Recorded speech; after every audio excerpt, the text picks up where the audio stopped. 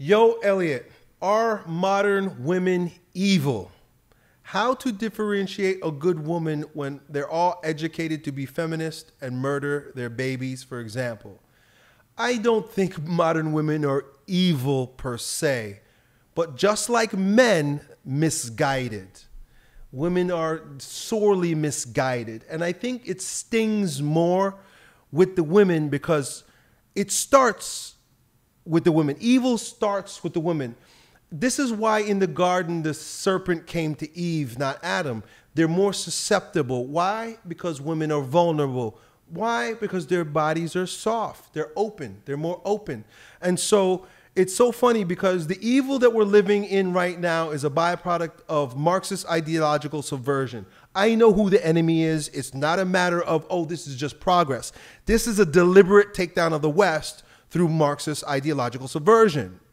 And the the the the orchestrators of this, the creators of this, Antonio Gramsci, Mark Lukács, so for example, the creators of cultural Marxism, understood that if they were going to take down a culture, they had to begin with the women first. Evil knows that. Evil knows that if you destroy the women, the men are going to follow. If men are virtuous, women are going to follow. So it's just, you know, it's the order, right? Evil is, it goes this way, virtue goes this way. For men to be virtue, then if men are virtuous, women will come up to virtue, will, will, will follow us in virtue. But where we are right now is women are susceptible to evil and men have fallen down to evil. This is where we are. So we can't blame women. Why? The same way that these fools who try to blame Eve forgot that Adam followed her. Adam's fault because Adam is the leader. It was Adam's fault that, first of all, the serpent got in the garden to manipulate his wife, right? Today we call that allowing women to vote. I told you about how diabolical that is, even though people take it for granted. Feminism, right? It, because what, what happens when a woman vote? She diverts in her values from her husband's. What does that do? Splits the family. So we let that happen right? And it was all downhill from there, right? Feminism, right? Now we got all kinds of, you know, confusion, right? The whole LBGT thing comes out of feminism. Believe me. So, are women evil? No. They're susceptible to evil, and men are weak. Women are more susceptible, more easily susceptible to evil, and men are weak. And men have no strength anymore because we have no God, and God is our strength. So the minute Adam and Eve is such a great example of what we see today. Eve didn't have the strength of the Father in her. Her strength came from Adam. Eve subverted Adam's authority and followed the serpent. Adam didn't protect his wife from the serpent. Then he rejected the authority of his father, from which all his strength comes, and followed his wife. Then Instead of taking responsibility for it, I want you to hear this because this is you right now. I'm not blaming you, but I don't this line of thought I'm blaming. Instead of so when God comes to Adam, he's like, Adam, uh, what happened? Why did you follow your wife? He he says, he, but it's her fault. He started pointing at her. He said, Oh, but the woman, but the woman. He even tried to blame God too. He said, But the woman you gave me. Think about men today Right now, are women evil? And so you blaming women. And then because men today have no fathers, they have no God the Father, and they're atheists, not even eh, the worse than atheists. At least atheists are trying to think it through. They're just they're just meaningless. They're just blah, whatever. Addicted to their God is their pleasure, right? I have to acknowledge atheists the fact that they actually even think. I'm like, I get where you're going because atheism is like a religion. Like you got to submit to some various tenets of that. There's some there are various assumptions that you are ascending to to be an atheist. So they're thoughtful. Most men they're not even thinking. They're just addicted to their pleasure. And so what happens? They follow the woman because what does a woman represent to a weak man? Pleasure. So I blame men, and I'm happy that I'm a man because I can fix the problem. The problem is not about fixing women. It's not. For evil, it's about fixing the woman to drag everybody else down. Evil focuses on the woman. Righteousness focuses on the man. I focus on the man. Because when the men are virtuous, the women will have no choice. But it's going to be a I understand I'm fighting an uphill battle. It's going to be long and hard. Why? Because just like Adam said, the, the fathers of the church say this about Adam, he didn't want to be without his wife. That's why he followed her. Men don't want to be without the puss. Oh, they smell so good. Oh, oh, I get to blow my load and ejaculate and orgasm. That's really what you guys are doing when you're following these women. So you're following the women. So here I come with these seemingly alien ideas about don't fornicate because that's how you're that's what's taking men down the route of evil with women. Right? But essentially, what I'm doing is taking away your pleasure. I'm saying, no, you got to be strong enough not to be subject to the pleasure of a woman's pussy. But you don't want, no, y'all don't want to hear that. Men don't want to hear that. Right? Elliott, you're being a boomer. You're taking away our fun. Okay, good. You keep being fun. And keep, just like Vladimir Lenin said, this is Vladimir Lenin too, right? Who's Bolshevik the degree to which a revolution will be successful, and trust me, we're living under a revolutionary time. Sexual revolution isn't just about sexual freedom, it's about subverting a culture and destroying them. The degree to which women are involved determines the success of a revolution. Your enemies wanted this.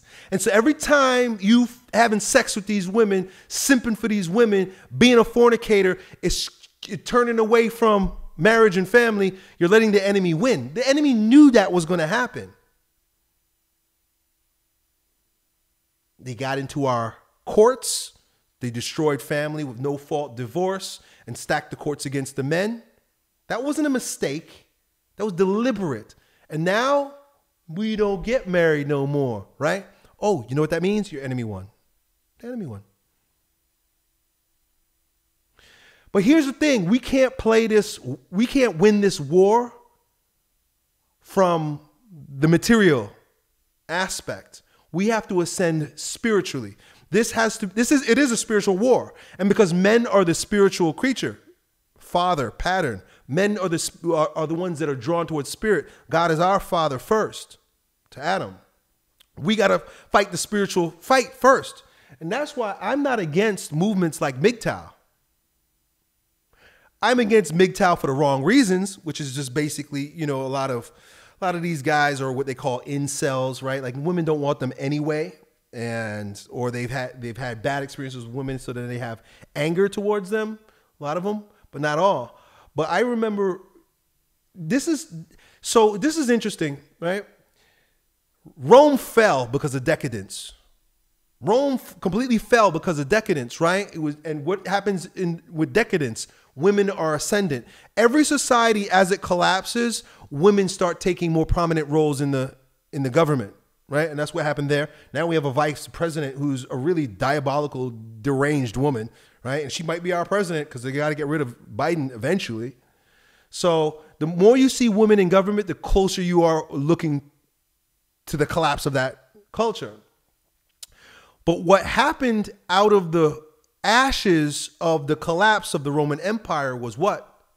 The Holy Roman Empire. The Holy Roman Empire emerged out of the Roman Empire. And maybe we'll have a Holy American Empire, who knows? But out of the out of the ashes of the decadent Roman Empire was the Holy Roman Empire. But the Holy the, but the Holy Roman Empire started to gain momentum through what? Monasteries. Men who became monks. Isn't that fascinating? In order to repair all this, men need to become monks. And I, I often say marriage or monk. That's my that's my mantra. Marriage or monk. Everything else in between is just dragging us down that crap hole that we find ourselves in right now. So when men go MGTOW for the right reasons, we might see a holy American empire rise. Study that. Look into that. Look into look into what happened at the uh, towards the tail end of the Roman Empire. Men started going out into the woods and, and living by themselves. They were like, we got to get away from these women because the women destroyed us. And that's, that's what's going to, ha- that's what has to happen. Because we can't fix the problem at the level at which the problem was created. People are going to try to fix this problem by talking to women. you ain't going to fix this problem with women. We got to fix this problem ourselves first. And then reintroduce ourselves with, with very, uh, very, how could you say, cautiously, very mindfully reintroduce ourselves to the world of women. So I, you know, this is where I stand with all you guys in this program and anybody who's listening to this. Monk or marriage, those are the only two ways that it's going to work. The society is going to make its way back. And I say monk becomes before marriage. Because marriage won't work until we reestablish the right order of things. And the only way to reestablish right order of things is to separate ourselves from it completely. Men have to separate themselves. I imagine that there will be, of course, there will be a great collapse, great persecution, but there will be a reignition of the monastic life for men. I sense that strongly. And I and I and I've I have enough confidence in my premonitions these days because I've been right on so many things, and I don't say this out of, in, out of ego, but because I know my thoughts are rightly ordered.